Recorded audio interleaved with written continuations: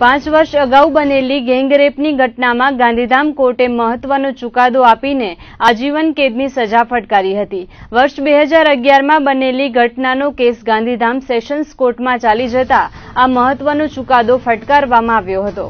સમગ્ર કેસની વિગતે વાત કરીએ તો આ કામના ફરિયાદી શામલી સોમાભાઈ ગણવાએ પોતાની સાડા ત્રણ વર્ષીય પુત્રી સાથે બળાત્કાર થયો હોવાની ફરિયાદ કરી હતી. કાર્ગો ઝૂંપડા ગાંધીધામમાં રહેતો આ પરિવાર રાત્રિ દરમિયાન છાપરા પર સૂતો હતો. ત્યારે કોઈ અજાણ્યા શખ્સો તેની સાડા ત્રણ વર્ષીય પુત્રીનું અપહરણ કરીને લઈ ગયા હતા અને બંને શખ્સોએ ગેંગરેપ કરતા ગત અઢારમી જૂન બે હજાર અગિયારના ફરિયાદ નોંધાઈ હતી. આ કેસ ગાંધીધામની સેશન્સ કોર્ટમાં ચાલી જતા આરોપી રામકિશન ભરતસિંહ યાદવ અને રાજુ ઉર્ફે રાજા મતદાર સંઘ પપણને કોર્ટે તકસીરવાર ઠેરવ્યા હતા અને આજીવન કેદની સજા ફટકારીને કોર્ટે ધાક બેસાડતો ચુકાદો આપ્યો હતો.